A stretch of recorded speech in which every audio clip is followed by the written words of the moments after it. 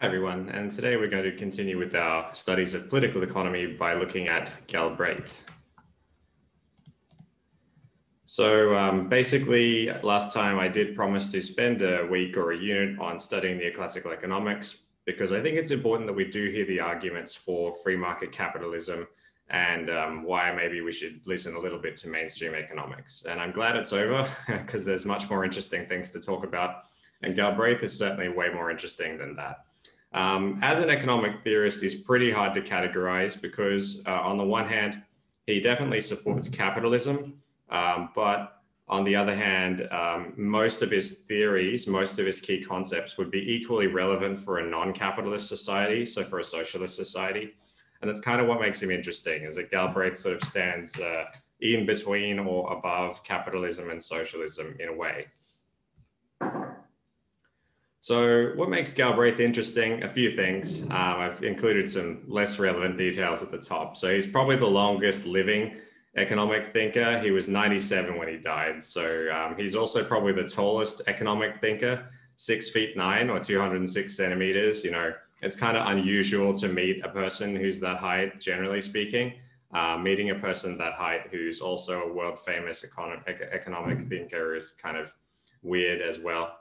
Um, but he was distinguished by being a public intellectual. So he wasn't just all about publishing journal articles and things like that that only other academics would read or, or people like that. He wanted to spread his knowledge as widely as possible. Um, and so his, his work was directed at being you know, suitable for a public audience. Um, Another interesting point is that he started out in agricultural science. So his first degree was a Bachelor of Agricultural Science and he majored in animal husbandry, so taking care of animals and raising animals for um, farming purposes.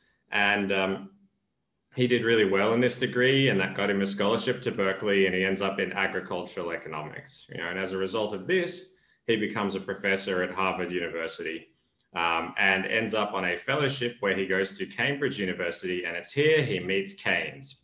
Okay, so he gets influenced by Keynes among other people, but Keynes has a big impact on him.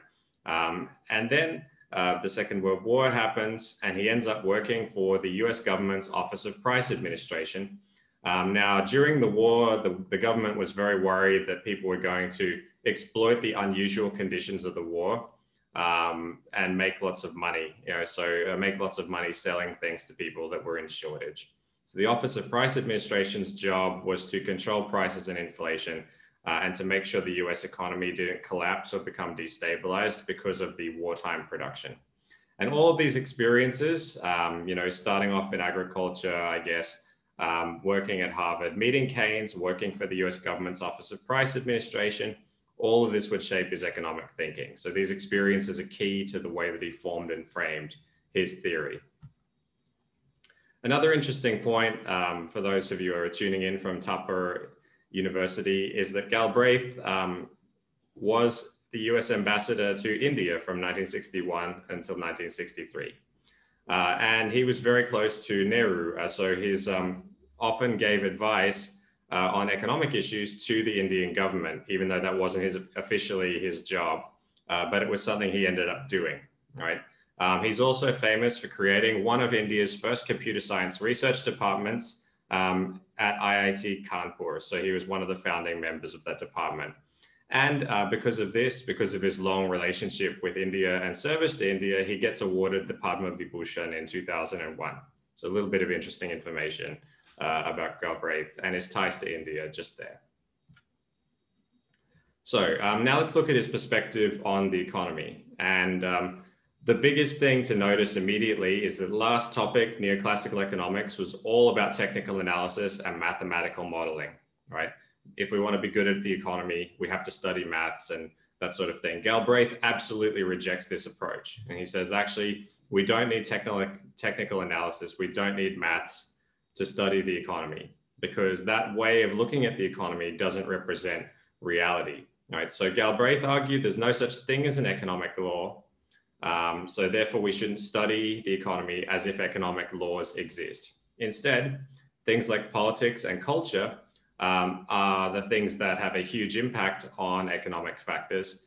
And so Galbraith then moved on to say, well, because politics and culture are the things that have the biggest impact, you know, these are things we can explain to people uh, if we try, right? So we should write about the economy in a way that everybody should understand, not just policy people in the government and academic people, right?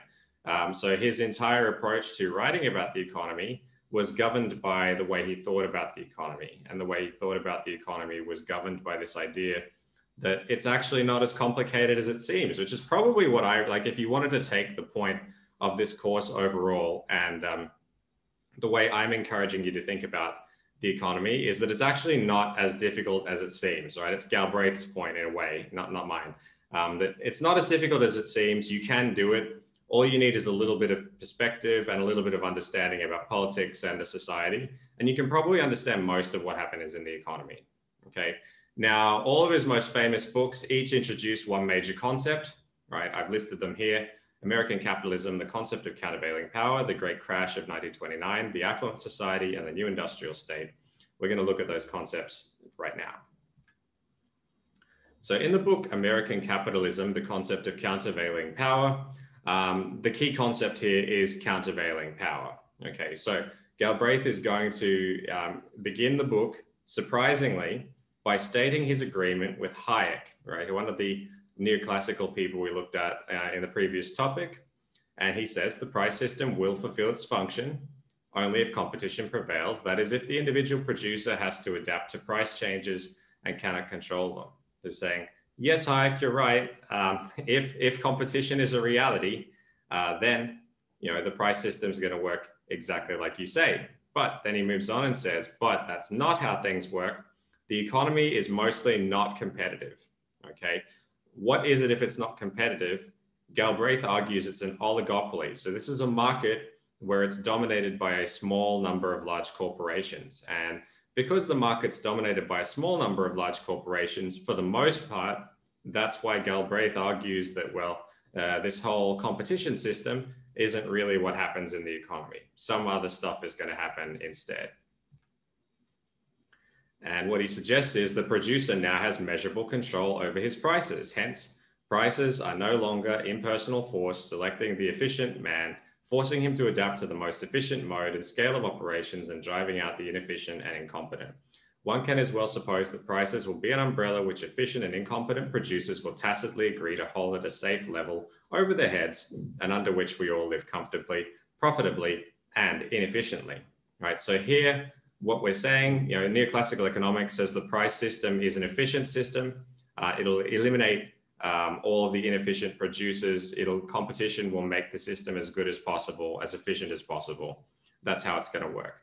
Galbraith suggests no, because of the ability of these uh, major corporations to control the prices of production, um, they're kind of going to sit above this uh, above this competition quite a bit because they're not in real competition with each other. Uh, and that's going to enable inefficiency, uh, but profit at the same time as inefficiency to be the normal way the system works. So Galbraith said it's pretty natural that firms are not just going to try and compete with each other. If they're smart, they're going to band together and try and influence prices together. Okay.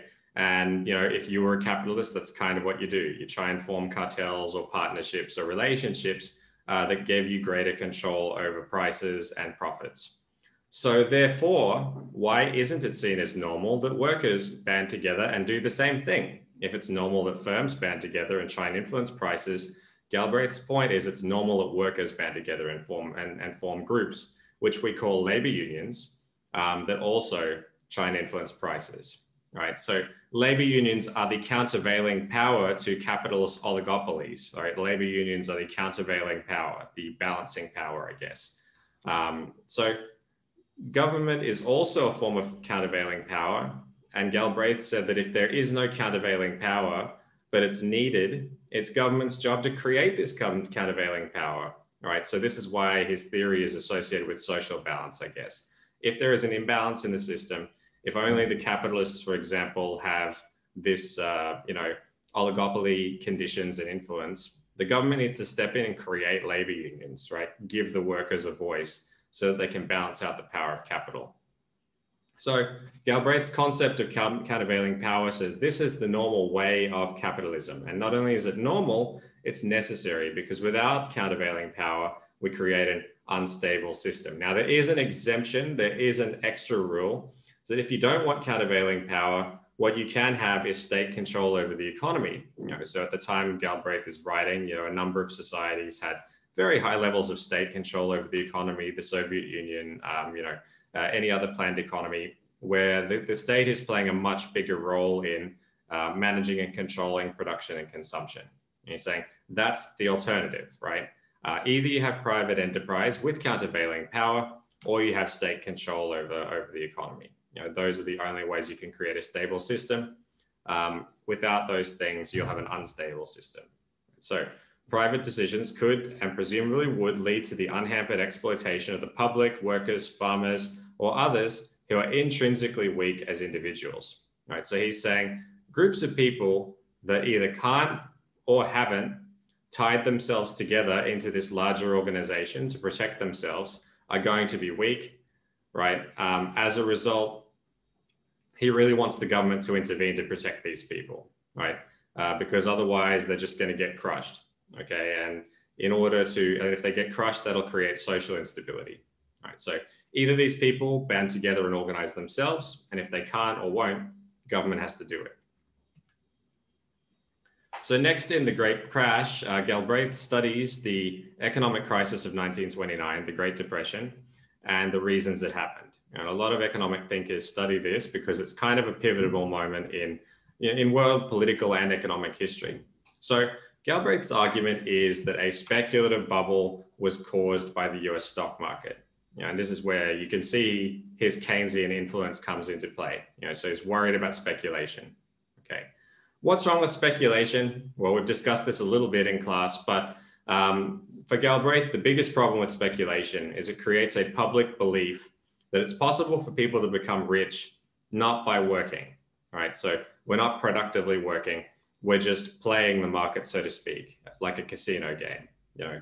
Um, so the end result of this is there's going to be structural damage to the economy. More and more people are going to be brought out of production and into the speculative aspects of the economy you know, um, which is going to mess with the prices and stuff, and uh, which is going to cause the speculative bubble, which is going to cause the crash when it all falls apart.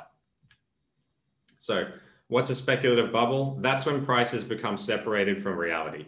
A really good, easy to understand example of a speculative bubble is property prices. Now, um, you know, property prices seem to be governed by how much property gets traded. So, if everybody believes um, that housing is going, housing prices are going to go up.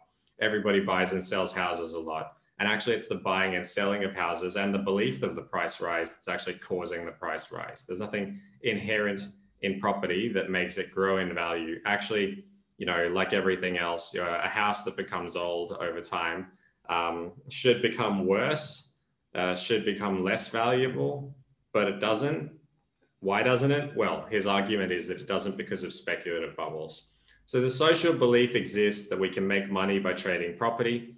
And because we believe that, that causes an actual increase in price. Right, so there's nothing objective about the price increase. Only our belief in the price increase creates the price increase. Okay, so uh, Galbraith noted that if we want to understand this a bit deeper, uh, we need to look at the social ideologies in play. So in the US, there's a concept called American exceptionalism. Um, it's a way of thinking that basically says the US is a superior country destined for success and destined to spread freedom and democracy and justice to the rest of the world. Okay. Part of this belief, um, he noted, is that if we look at the US middle class, there's a widespread belief that because America is an exceptional country, um, because it's superior to everybody else, um, therefore God or some other power intended the American middle class to be rich, right? So it's this belief, a faith, a literal faith that, that a spiritual power wants you to be rich leads to price increases in this case.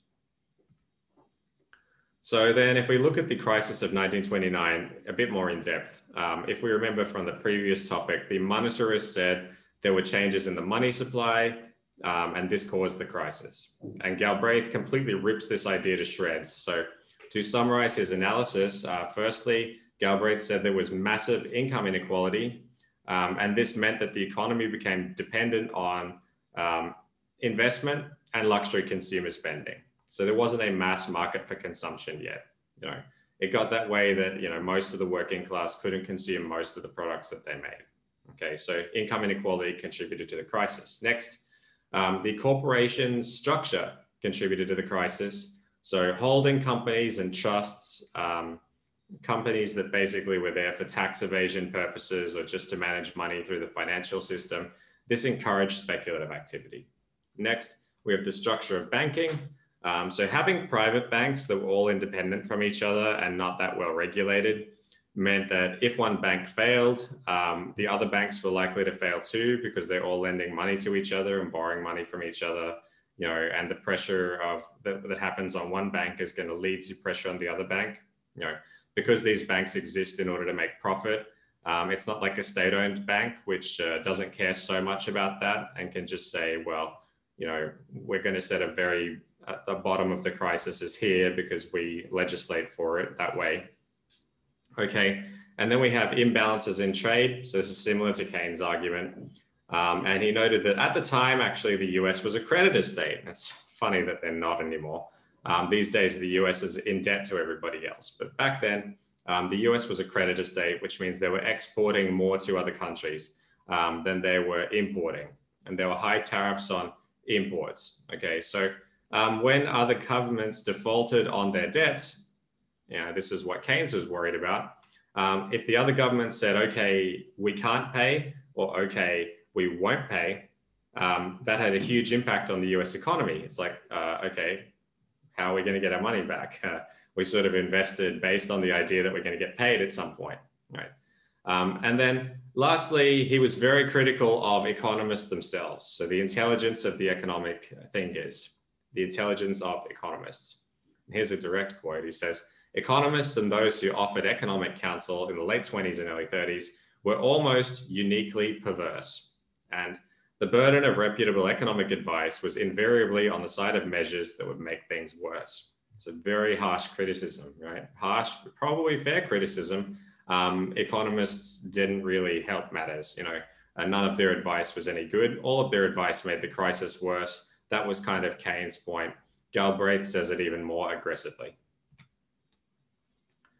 Okay, so in the book about the new industrial state, um, Galbraith's going to argue that as societies become more advanced, as production becomes more advanced, and this doesn't matter whether they're capitalist societies or socialist societies, he's noting that the more advanced our needs become, the more planning becomes necessary, right? So historically, we've thought of planning as associated with socialism and, you know, free market decision making as being associated with capitalism, okay? But Galbraith is going to kind of demolish this argument and say planning is the new norm, right? So um, this is another argument against theories of capitalism that are based on perfect competition and says that, well, if planning is normal, irrespective of the economic system you have, we should treat it as normal rather than treating it as a distortion to the market or that sort of thing. So what's the implication of planning? Well, it creates what he called a technostructure. So this is a group of people whose job it is to manage production in some way. And this technostructure are going to have a huge influence on the economy. And it doesn't matter whether they're corporate planners or government planners, you know, they're going to have a big impact on the way the economy works. So what defines the technostructure um, is that as a managerial class, as managers, they're not necessarily maximizing profit. Because if you want to absolutely maximize profit, as the neoclassical economists think that we should, um, that's going to involve a lot of risk the techno structure don't want to take heaps of risks. They're happy to take some risks, but they're not going to take maximum risks. Okay, sounds logical. Um, so their goal is to maintain the existence of the organization. Rule number one, if you're in business or if you're in government, don't get thrown out of business, don't get thrown out of government. Okay. And if you survive, if, if you've met your survival criteria, only then you can extend um, to basically saying, well, what's the next important thing is that we grow our power, we grow our influence. You know, profit's kind of like a very later consideration, which we don't worry about as much.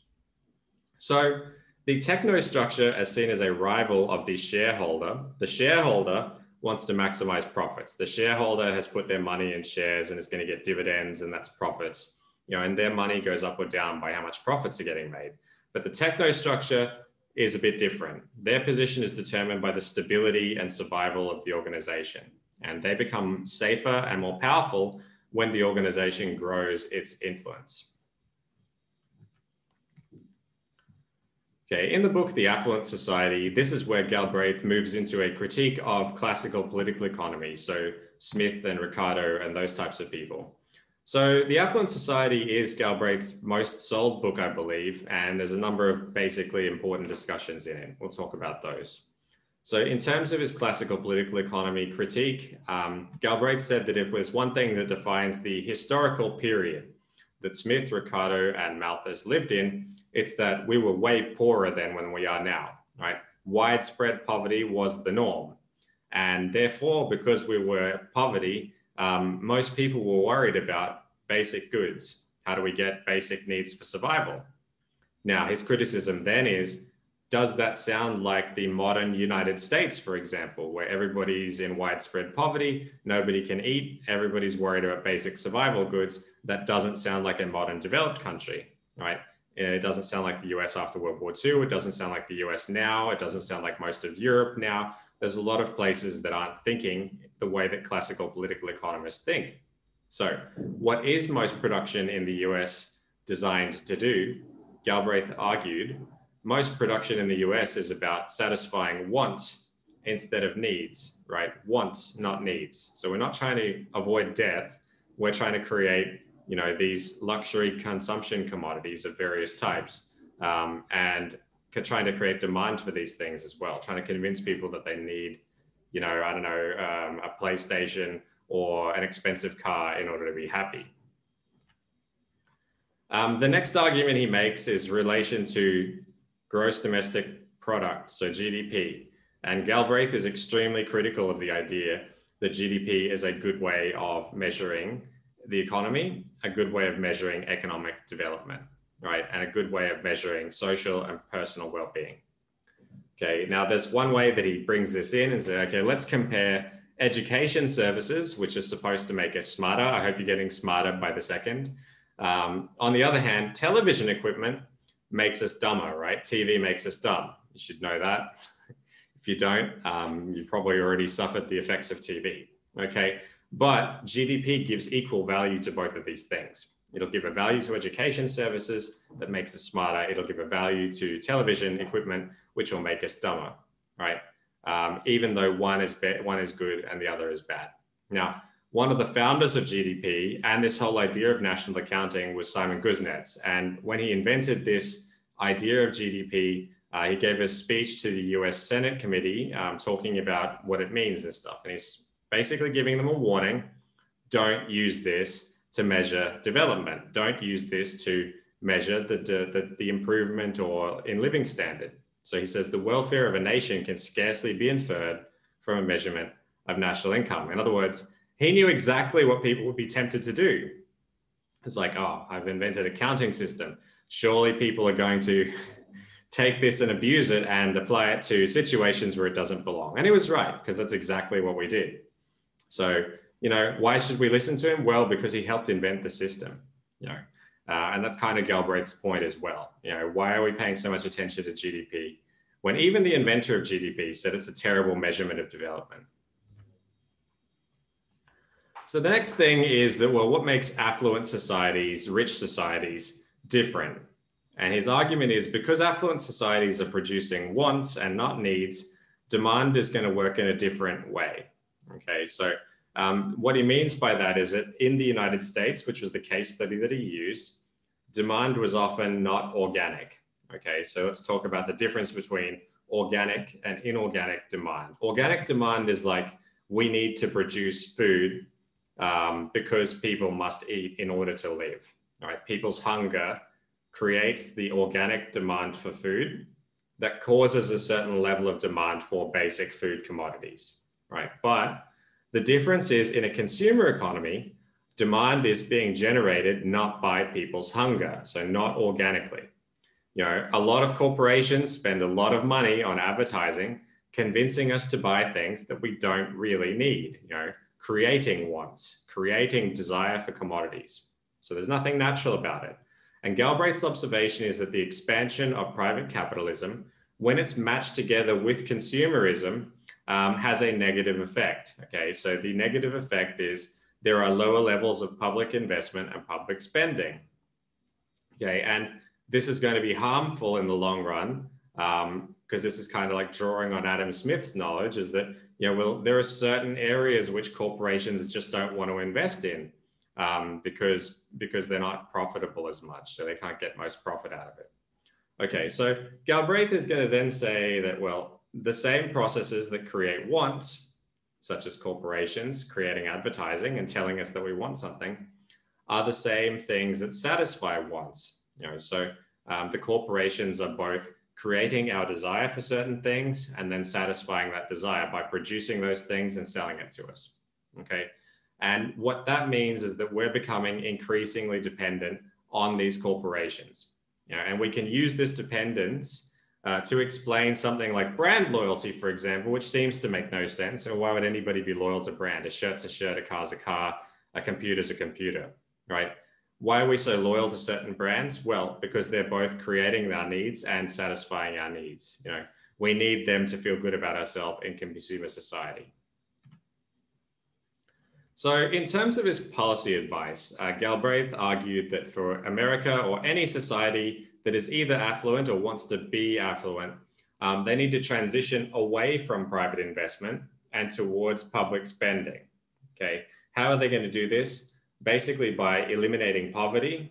You know, so it's necessary. I mean, this is kind of tied to his observation about um, what caused the depression, uh, income inequality. So let's eliminate poverty. Let's give the poor people money to spend. You know, and that's a good thing. Massive government investment invention is needed. In, in education is needed. So let's spend widely on raising the standard of knowledge that the average person has. And then he wants to actively promote what's called the new class. So who's the new class? Let's promote the growth of this new class and their power. The new class is us. Okay, if you're listening to this talk, if you're in a university, um, if you've ever studied at a university, you're probably trying to be part of what Galbraith called the new class, right? Teachers, professors, doctors, engineers, lawyers, civil servants, those types of people. Um, the people who have a big impact on society's progress, that's the new class. And Galbraith's point is these people are actually, we need to give them as much power as possible. Okay, we need to promote their growth. So, in order to do this, we need to use government's power to collect a lot of taxation revenue, right? And devote this revenue to public spending, right? Make sure people are educated and that sort of thing. And if we do that, the effect that's going to have is a weakening of corporate power, right? So, two ways corporate power is going to be weakened if we collect high taxes and if we promote high levels of public spending. Firstly, people will have less money to spend on some of this junk that they don't really need, right? Take away people's money, they can't spend it, right? You spend it for them on stuff that's good for them. Okay. Secondly, um, if we educate people, not everybody, but a good percentage of people are going to become smarter, and smarter people are more resistant to things like advertising. So when a corporation tries to convince them that they need something, a smarter person is more likely to think, actually, I don't really need that thing. Actually, I'm not gonna, you know, I'm not gonna buy that thing. I don't really need it. So then he says that whether the problem be that of a burgeoning population and space in which to live with peace and grace, or whether it be the depletion of materials nature has stocked in the earth's crust, and which have been drawn upon more heavily in this century than in all previous time together, or whether it be that of occupying minds no longer committed to the stockpiling of consumer goods, the basic demand on America will be on its resources of intelligence and education. And I think this quote is a good way of summarizing that, you know, no matter what problem the society is actually facing, Galbraith's perspective says we can solve this problem by raising the average of intelligence of the public. So education is a special process in a way um, that it behaves differently from different forms of spending. You know, it, it changes the way we think, it changes demand itself.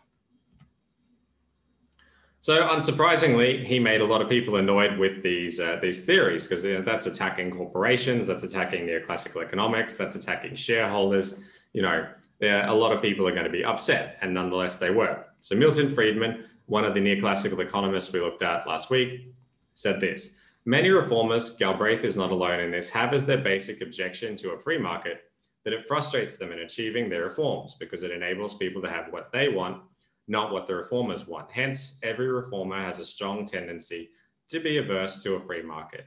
You know, and um, you know, Milton Friedman's point is that he strongly believes in this idea that consumers are rational spenders, right? That they they know what they want, what they want is valid. We should just let them go out and spend on whatever they want. Okay. And it really comes down to what you believe here about, about the society. Is the consumer a rational spender? Yes or no, right? Um, you know, that, that really will determine whose position you take in this debate. Galbraith is also criticized by some bitter economists, and a good example of this is, you know, the uh, Nobel Prize winner of um, Paul Krugman. And in the book Peddling Prosperity, his biggest criticism of Galbraith is a strange one. He's like, you know, you spent too much time sharing your knowledge with the public. And what an awful criticism, honestly. If your biggest problem with somebody uh, is that they try and make the economy more understandable for the public as a whole, instead of just focusing on convincing academics and you know researchers and policymakers. That's Krugman's big problem with Galbraith. So an interesting perspective. So in summary, uh, what can we learn from a thinker like Galbraith? Well, he kind of sidesteps this discussion of equilibrium economics. You know, he avoids the discussion about whether it actually exists or not by simply saying, well, I don't know, maybe in the past it did exist. When people were absolutely poor, maybe there really was an equilibrium. But it doesn't anymore because of a society changing to this affluent society um, where people are starting to consume not based on need anymore. People are starting to consume based on what. Okay, the next thing we can learn is that if Galbraith is right, economic growth is not going to answer all of our problems. Okay, and in a lot of ways, it's going to take some of our existing problems and make them worse. Okay, um, if we don't educate the society, for example, um, if we don't plan the society, simply growing is not necessarily going to solve our problems.